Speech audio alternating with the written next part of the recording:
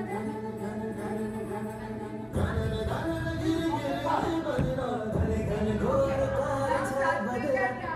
uh, is fun. I'm going to show